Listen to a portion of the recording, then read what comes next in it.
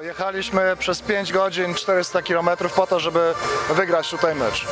I myślę, że byliśmy przez 40 minut w meczu, łącznie z ostatnią akcją, która się skończyła niecelnym rzutem za 3 punkty na dogrywkę i no, zrobiliśmy co mogliśmy.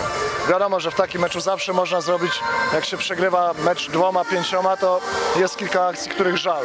Ale spróbujemy wyciągnąć z tego jak najwięcej dla naszego zespołu, dla tych młodych ludzi, żeby oni w przyszłości grali lepiej.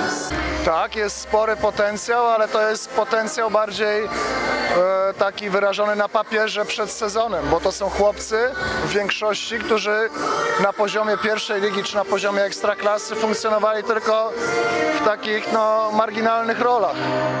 A oni, dla nich jest to bardzo ważny, przełomowy, mam nadzieję, sezon, kiedy, kiedy oni zrobią ten najważniejszy krok w ich karierze i z koszykarza młodzieżowego staną się koszykarzem seniorskim. Jest to ogromny przeskok.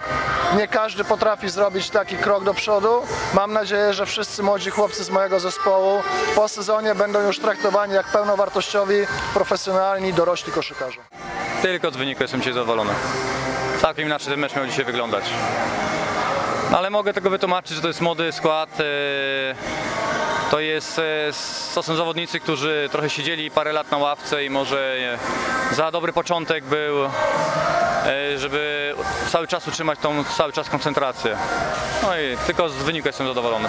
No, próbuję ratować, szukać. Dzisiaj e, Filip wyszedł w pierwszej piątce, dzisiaj wyszedł e, Szymon w pierwszej piątce. Coś tam próbuję robić, żeby jedni się zasiedzieli na ławce, a drudzy zasiedzieli w pierwszej piątce, więc coś tam próbuję robić, żeby każdy z nich czuł się w tym zespole dobrze, no ale dzisiaj wyszło jak wyszło. My mamy, my ogólnie mamy e, problem z koncentracją. To jest właśnie, to nie to jest kwestia umiejętności, tylko koncentracji. Wszystkie te rzuty spod kosza niecelne, wszystkie złe decyzje, to jest kwestia koncentracji, a nie umiejętności.